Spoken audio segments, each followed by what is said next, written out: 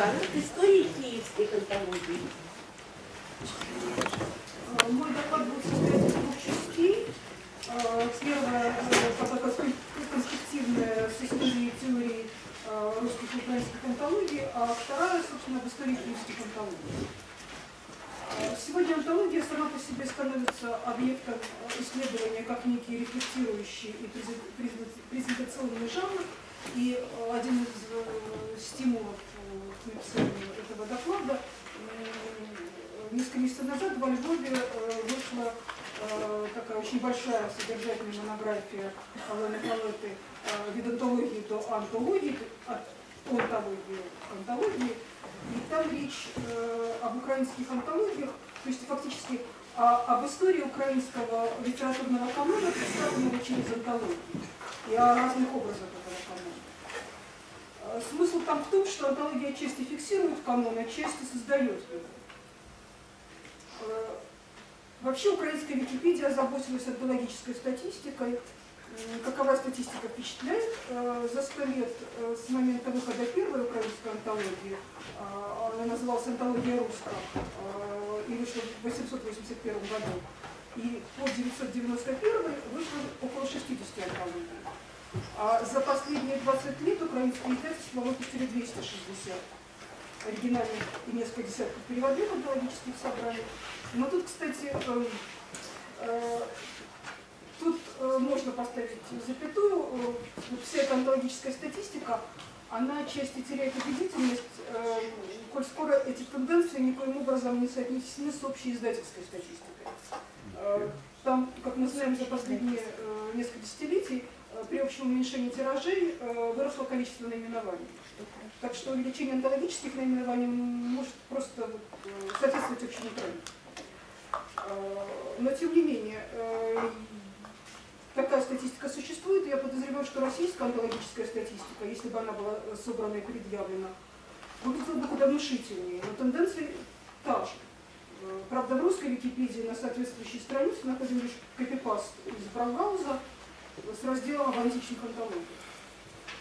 А современной онтологической практики там, разумеется, нет, а у Брагауза э, читаем Э, многочисленные сборники избранных отрывков из произведений поэтов или других писателей, которые являются во всех европейских странах, носят тоже часто название антологии. Википедия здесь обрывает цитату, между тем в Брагаузе там дальше следует замечание, что э, ближайшим родственником антологии является хрестоматия. И это характерно именно для антологической практики начала прошлого века. При том, что ну, вот, уже тогда существовало сомнение на предмет чистоты жанра. Все эти многочисленные сборники совсем не обязательно оказываются антологией. Есть условия, которые диктуют антологическая история, творчески переосмысленная в антологическую теорию. Антология неизменно являет некую отобранную коллекцию текстов, это вторичные тексты. Иными словами, они отобраны из неких рядов, именно уже с тем, чтобы предъявить новые ряды, новое множество.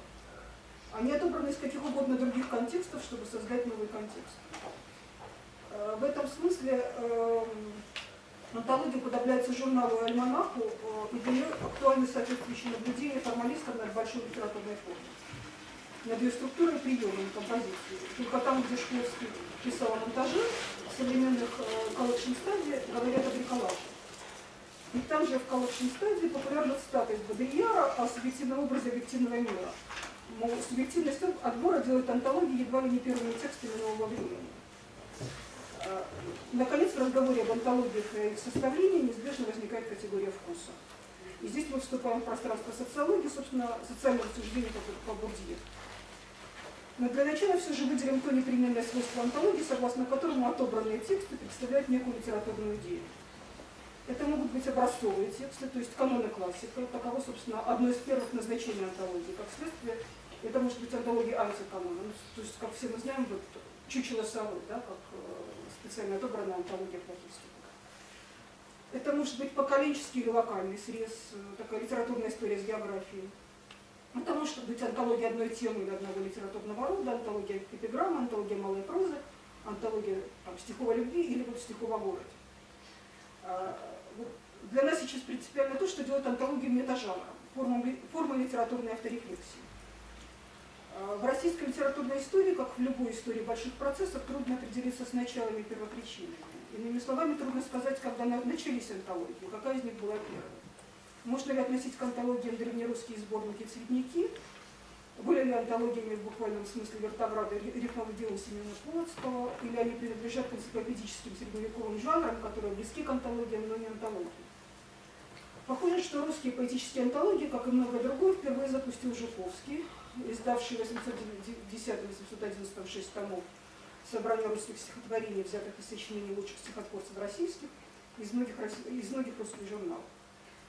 По замыслу это было не образцовое собрание, но полное собрание, попытка первого целостного представления русской поэзии.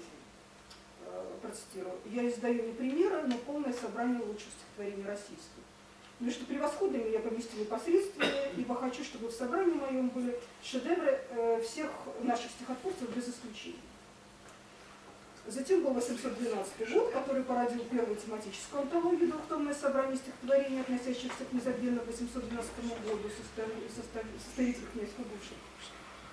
Уже в следующем десятилетии настала эпоха альманахов, и знаменательный опыт русской анфологии Михаила Яковлева, изданный в 828 году, концептуально восходил к антологии француз 816 э, года, э, он отобрал и обозначил поколение, которое потом в учебниках стали называть пушкинской плеядой. Но этот антологический опыт был устроен по принципу альманаха, его зачастую относят к альманаху. В украинской истории там несколько сместились акценты. Ластівка Гребинки 841 года была замыслена как журнал, по обстоятельствам стала альманахом и считается протоантологией. Следующая затем украинская антология вышла через 40 лет. Э, это была та самая антология русская. Она вышла в 881 году во Львове, и там были представлены 42 украинских поэта, от Гребенки до Франка. А затем в столетие Наиды Катаевского а, в Киеве вышел трехтомный лик. Это был 1900-1902.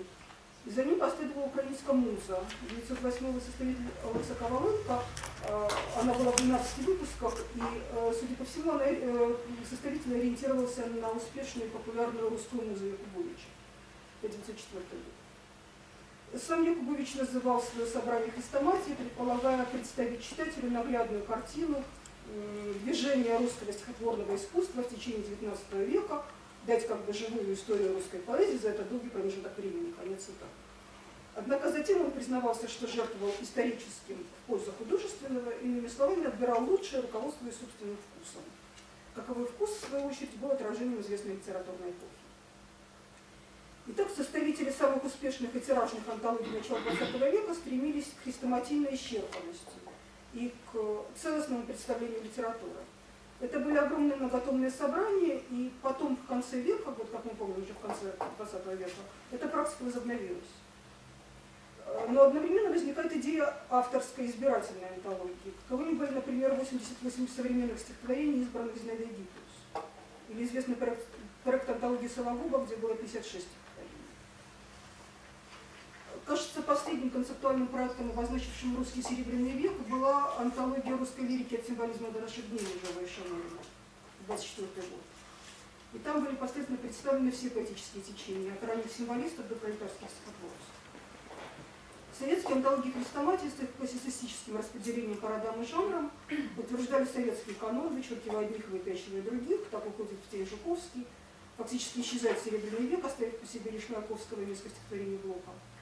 А украинский советский канон был старательным отражением русского, хотя и здесь заслуживает отдельного внимания составленная э, Рыльским четырехтомная антология украинской поэзии.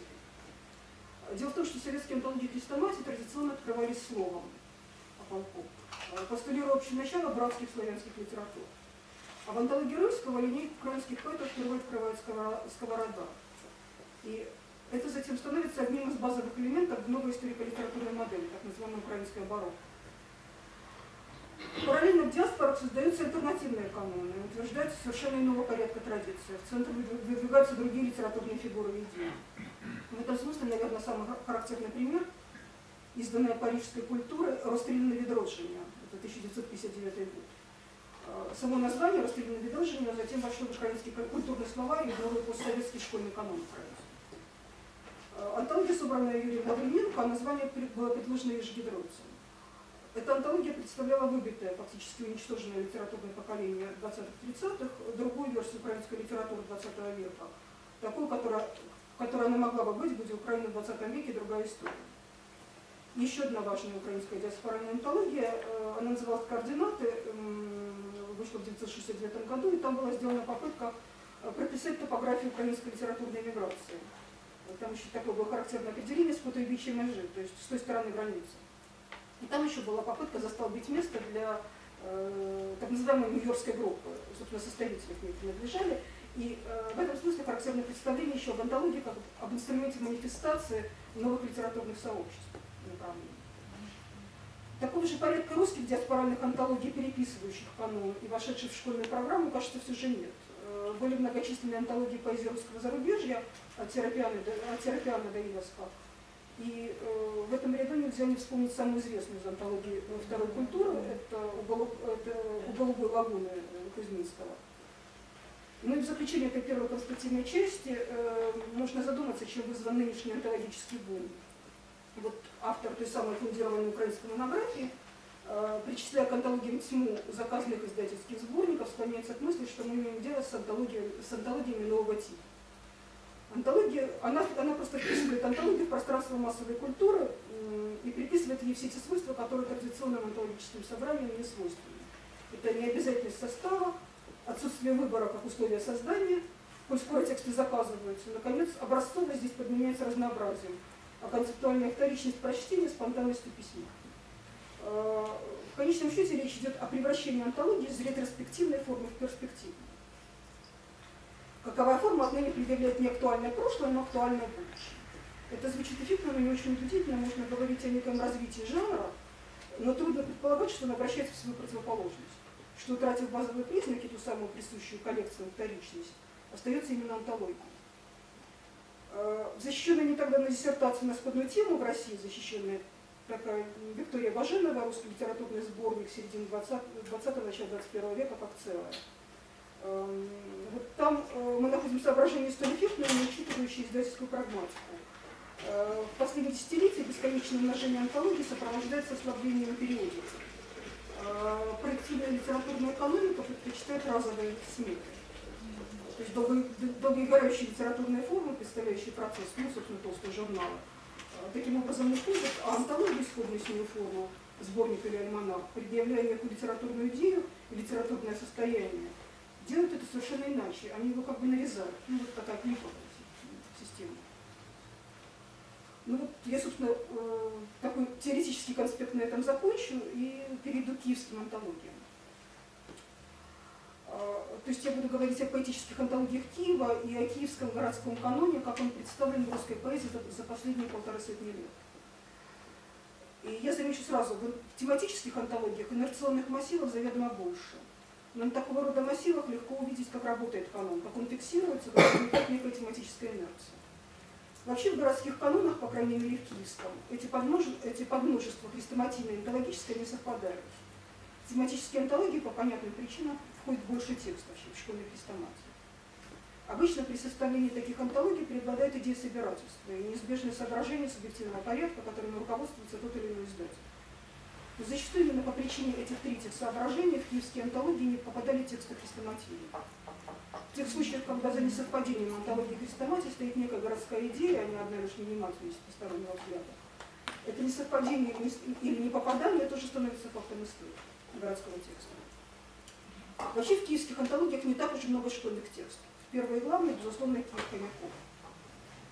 А, ну, я когда-то писала а, об этом стихотворении, я не буду повторяться, я только кратко скажу, что во второй половине XIX века Хомяковский Киев воспроизводился не менее чем в полутора десятках учебных пособий.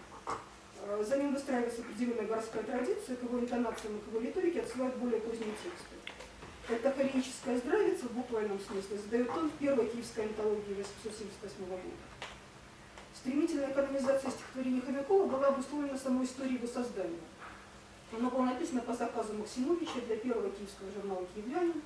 Должно было открывать первый его номер и служить своего рода программой. Основной идеей стихотворения комментаторы зачастую называют известные строки из сопроводительного письма Хомякова Максимовича. Э, цитата. «Пора Киеву отзываться русским языком и русской жизнью, Я уверен, что слово и мысль лучше завоевывают, чем сабля и порох, а Киев может действовать во многих отношениях сильнее Питера и Москвы. Он город пограничный между двумя стихиями, двумя просвещениями. А, конец цитаты. Вот это несколько откорректированная идея Николаевского официоза, идея превращения польского города в православную столицу, города русского духа. Однако стихотворная программа оказалась несколько шире пистолярно-прозаической, и доминанту в стихах там задают э, ритмический энергичный э, хорей четвертый, э, хорей четыре, а в э, центре поэтического сюжета оказывается сход, собирание, всеславянское паломничество в Иерусалиму земли русской. И теперь из стран далеких, из неведомых степей, от полночных рек глубоких, полк молящихся детей. Между тем, в первом номере Киевлянина это стихотворение было снято цензурой, попало лишь во второй, и то в сокращении. А место Хомяковской программы в первом номере занял Киев Бенедиктов. От Хомяковского Киева осталась одна строфа, слава Киев многовечный, она была поставлена в качестве эпиграфа ко всему журналу. Погожин успел попенять редактору, да кто тебе угораздил Бенедиктовскую метабанку сунуть в общество святых угодников Печерских. Так или иначе, стихотворение Бенедиктова тоже попадает в местный городской канон, оно неизбежно перепечатывается потом во всех, как ранних, так и поздних киевских антологиях. Именно эти два стихотворения делают погоду в первой киевской антологии. Она была собрана в 878 году духовным писателем Степаном Пономаревым. Он, к слову, был одним из членов учредителей Императорского православного палестинского общества и собрал еще две городские антологии – Москва в родной поэзии и Иерусалим и Палестина в русской литературе. Киев в этом ряду, безусловно, выступал в качестве второго Иерусалима и колыбели православия. Соответственно, в центре должны были находиться тексты, связанные с Иерусалимским сюжетом. И эта первая киевская антология буквально повторяла структуру паломнических путеводителей и состояла из двух частей. Они назывались, соответственно, Киев и его святыни и Днепр и его окрестности. Тут характерно, что структуру киевского канона определяли паломнические путеводители. На тот момент это был самый массовый из городских текстов. Есть еще такая особенность, если составитель антологии не дай бог поэт, он наполняет ее собственными стихами как сделал наш герой Степан Пономарев, причем в полном соответствии со структурой путеводителей. Все его стихотворения посвящены главным киевским храмам. Коль скоро паломнические сюжеты восходят к иерусалимским топосам, одним из немногих прозаических отрывков, вошедших в эту поэтическую антологию, стал известный пассаж «Гребенки» из «Мачки и паночки», отсылающий к хождению игумена Даниила.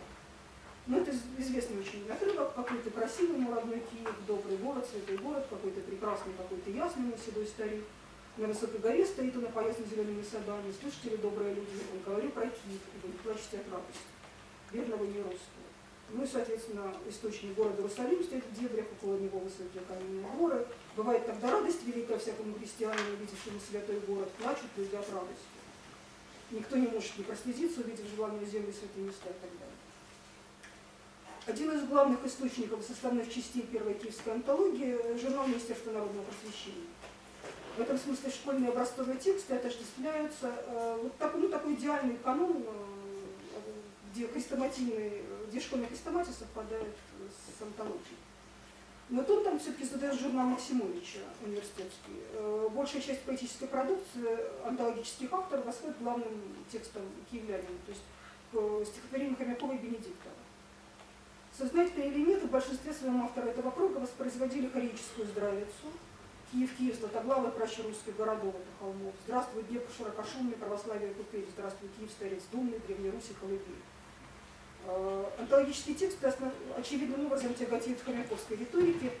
Бенедиктов пытался усложнить стратегический рисунок, он перемежал энергичные э, четвертой Кореи песнями, песнями имитациями а Кольцов Но в итоге подхвачена была именно здравица. Третьим ключевым текстом Пономаревской антологии стал Киев Козлова, Хомяковское стихотворение задает паломнический иерусалимский сюжет, собственно, хожение, а у Бенедиктова основной темой становится Днепровская купель. Э, Киев Козлова воспроизводит классический киевский пейзаж, что же по сути паломнический. Высокий Днепровский берег Славской колокольни, открывающийся православным паломникам, подъезжающим к Киеву с востока, с левого берега, где светлый крест с Печерской главой горит звездой на небе голубом. Этот пейзаж с небесными киевскими высотами становится каноническим зачином, высоко передо мной старый Киев над Днепром Хомяков. Киев над Днепром стоит, он горит церкви и собором Маркевич. Ну и, наконец, там, где на высоте обрыва, воздушно-светозарный храм. Вот это посвященное Андрею Муравьеву стихотворение Тютчева, и речь там, разумеется, об Андреевской церкви. Тут интересно, это тот случай, когда момент литературной канонизации можно зафиксировать. В начале XIX века барочная Андреевская церковь сравнительно недавнее, недавнее сооружение. Она была построена э, по заказу э, Елизаветы Петровны э, в, во второй половине XVIII века, а 830-е годы уже Андреевская гора становится любимым киевским местом Жуковского Гоголя и Максимовича. Затем в 866 здесь поселяется Андрей Муравьев, его навещают Тючева и Апоптин. Отныне гора его храмом утверждаются в киевских, киевских антологиях. А у начала этого поэтического культа находим чувствительного путешественника Владимира Измайлова. В своих аллегорических э, видениях он избежал официального паломнического маршрута. Он начал э, свое паломничество не с Лавры, э, как это обычно было в путешествиях, а с Андреевской горы и ведущей к церкви лестницы. Она ему представлялась лестницей Иакова, соединяющей Бога и человека. Как великолепно возвышенная церковь Андрея Первозванного. Тысячи столпов прикасаются к облакам, соединяя, кажется, небо и землю. Прекрасная цепь каменных ступеней, служащая эмблемой лестницы, которая соединяет Бога с человеком, и по которой дух последнего возносится к величеству первого.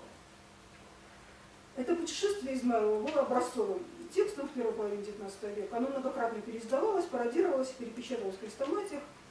Прочувствованные Измайловым образ Андреевской горы лестницы Иакова затем едва ли недословно повторяется в написанном более чем полвека спустя стихотворении Акуфтина посвященный Муравьеву.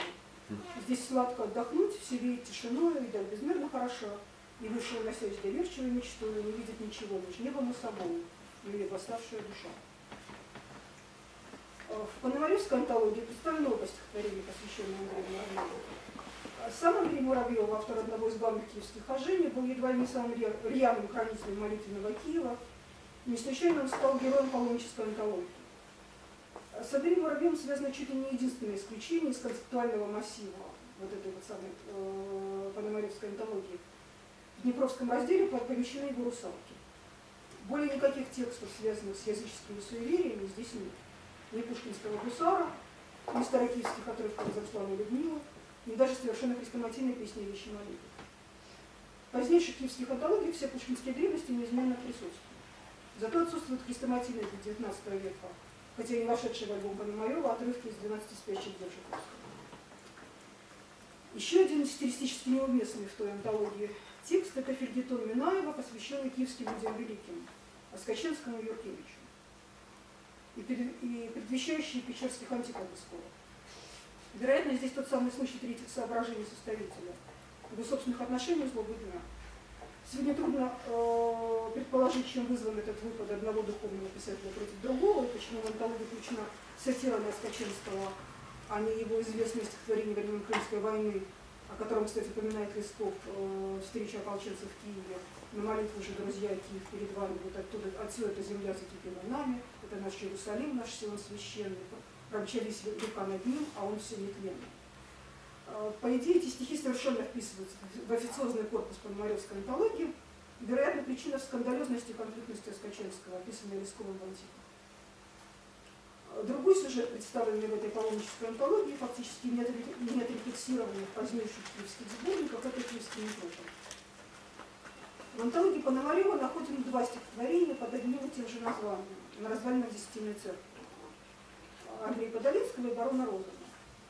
Э, в принципе, перед нами общегородской мотив, восходящий к апокалиптическому тексту о гибели Великого Бога. Тут интересно, что на Иерусалимский комплекс накладывается другой чрезвычайно важный для городской мифологии текст, для, городской мифологии сюжет. Это эпитафия Рима, восходящая к проповеди Блаженного Августина, названной тоже «Слово о разорении города Рима».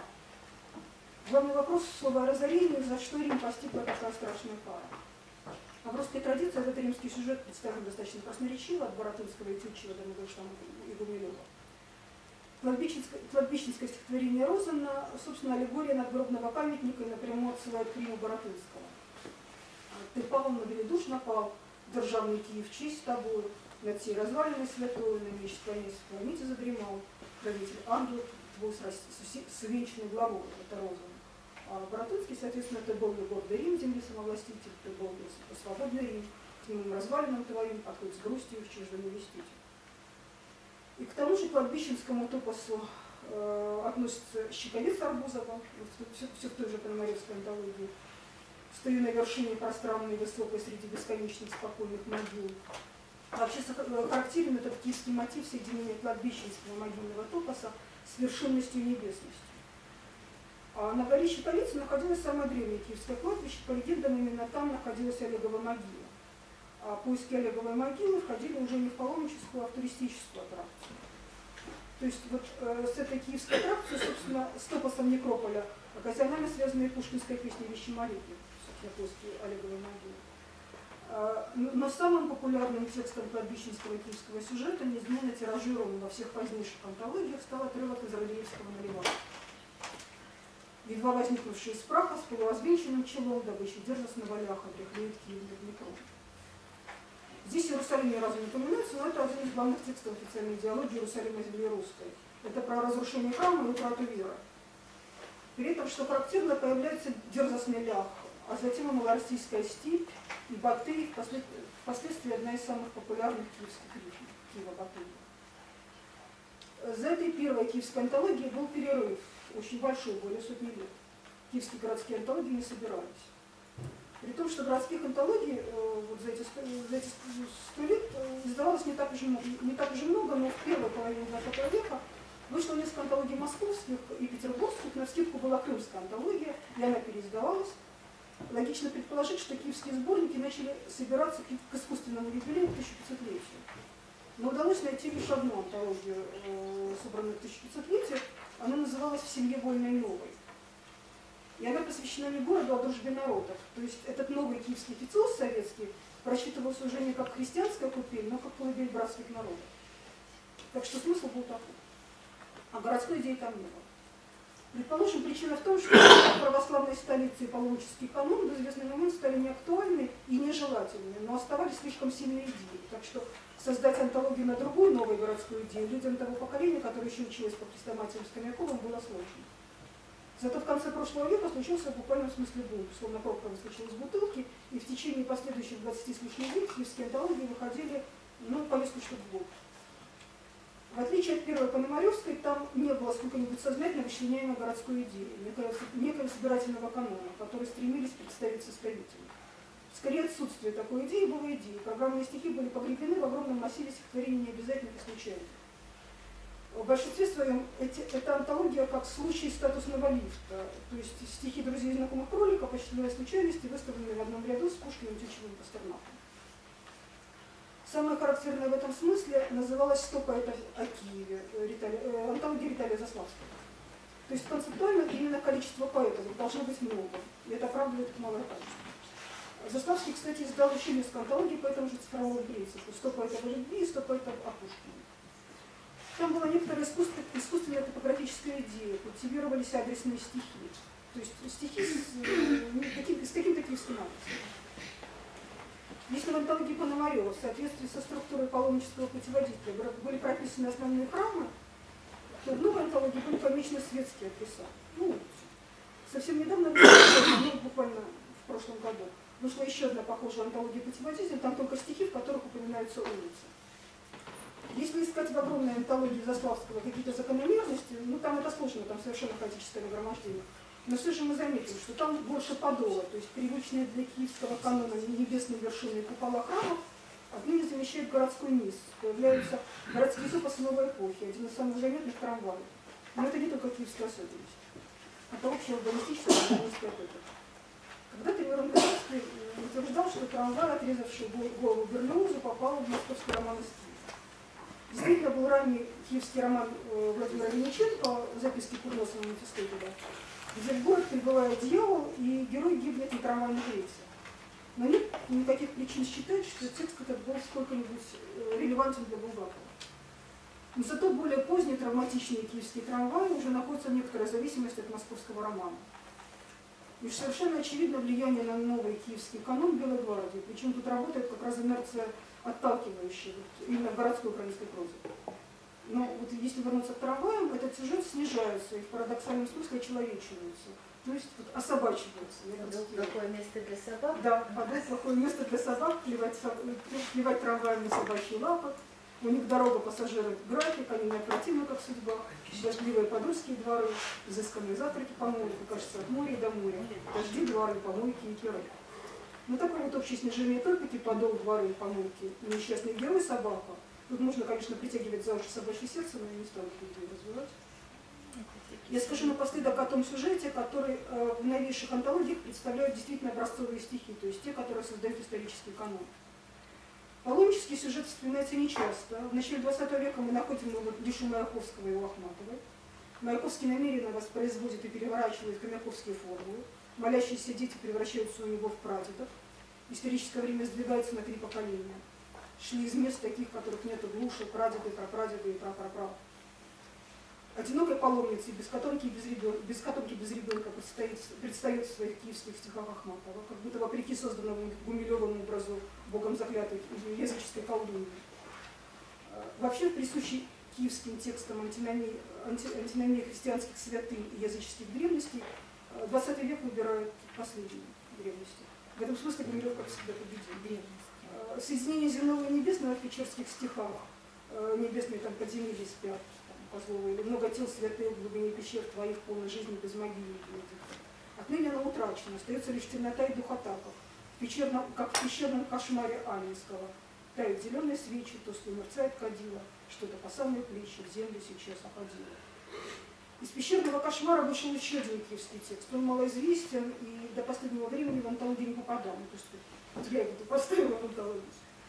А, но характерен он ранним упоминанием канонического мотива Киева Вия это э, перестань притворяться, не мучай, не путай, не ври. Поднимаются шторы пудовыми веками вия. Я взорвать, я, я взорвать обещался тебя и твои словари. И Печерскую лавру, и Днепр, собора и Киев. Это стихотворение Киев Катаева 23 -го года. Имеется в виду взрыв оружейных складов в Зверинецких пещерах в июне 18-го. Ибо из-за Киев зимой того же года. И раскатится бой, и беда, и пальба по Днепру, и на приступ пойдет по мостам ледяная бригада. Этим же событием, собственно, взрыв зверился, посвящен другой малоизвестный киевский текст, поэма Николая Ушакова, 1918 год. Это такой опыт киевской повести на манер петербургской повести Пушкина о бедном Евгении. В полном виде поэма издавалась лишь однажды в сборнике Ушакова Киев 1936 года. Но этот текст интересен именно тем, что на него указала Харджиеву э, Надежда Яковлевна Мандельштам как на источник Мандельштамовского Киева. Киеве во второй половине XX века становится одним из ключевых имен города. У Мандельштама гоголевский образ возникает как смысловой ключ к сюжету о мертвом городе, собственно, панихита, как сюжет вида. Один из ключевых мотивов киевских текстов этой эпохи, не только поэтических, это гибель великого города. Исход из города он теперь заменяет паломническое хожение. Я пропущу плакатно-филитонное явление дерзостного валяха в киевских текстах 20-х, но коль скоро мы говорим все же о массовой поэзии и о сильных городских текстах, то ну, надо отметить чрезвычайно характерный для 20 века мотив грозового вступления, очевидно восходящий к пастернаковскому вступлению к поэме лейтенант Шмидт. Все кончилось, настала ночь по Киеву, пронесся мрак, швыря старым ставим, и хлынул дождь, и по дни Батыеву. Ушедший день стал странным страдалем. Кажется, это обращение к все тому же паломническому канону. Именно с языческой грозы начинается киевское хожение Андрея Муравьева. Но в паломническом тексте Муравьева небо чудесным образом проясняется при блеске лаврской колокольни. В местном каноне XX века лавра точно так же предстает на фоне заката и на фоне рассвета. Но это уже не мистическое видение паломника, а вид из окна на востоке на левом берегу. На неизбежную рифму греха расплата, неизбежную рифму греха расплата подсказывает все тот же паломнический канон. Скудное утро и два силуэта, неразделимых как грех расплата. Красная лавра на фоне рассвета, черная лавра на фоне заката. Спасибо.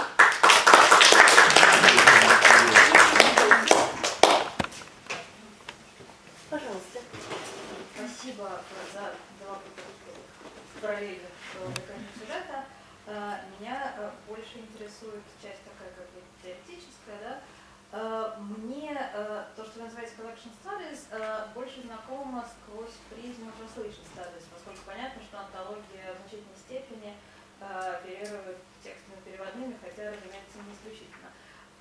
В этой связи я либо не уловила, либо действительно вы как не упоминали, в какой степени, ведь э, вот это вот всегдашняя проблема близких языков, с которых непонятно, насколько они близки и насколько перевод необходим и так далее, как вообще э, киевские антологии работают с, с переводом? Э, потому что вы переводили тексты натурально на русском языке, что неудивительно. Ну, Не издавалось двуязычных антологий.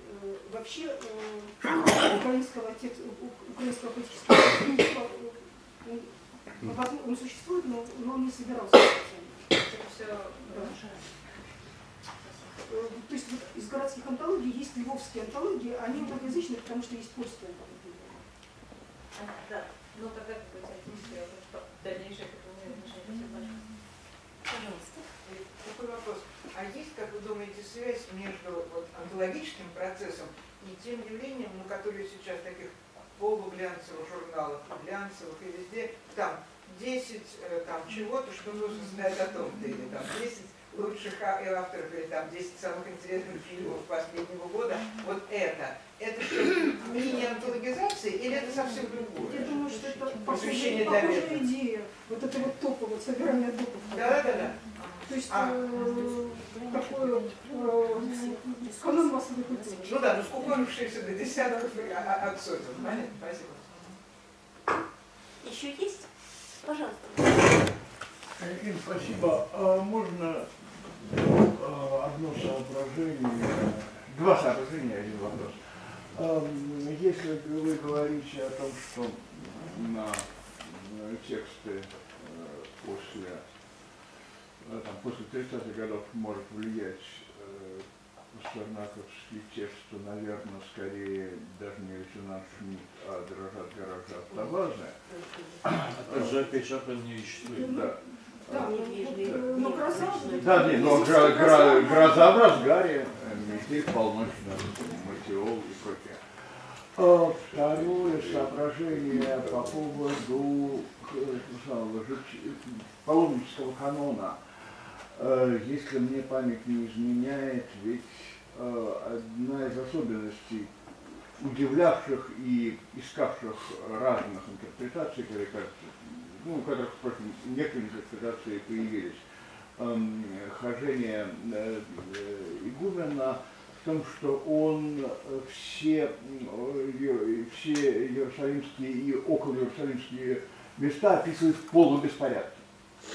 Э, вот, вот что это странное нагромождение, что вот и- никакой логики там там, начать с время Светлого Завета, потом перейти к Новозаветным или или географически, вот ничего такого не работает. Ну, этому там, древники предлагали свои варианты объяснений. Может быть, и здесь это тоже как-то э, срабатывает, тоже как влияние паломнического канона.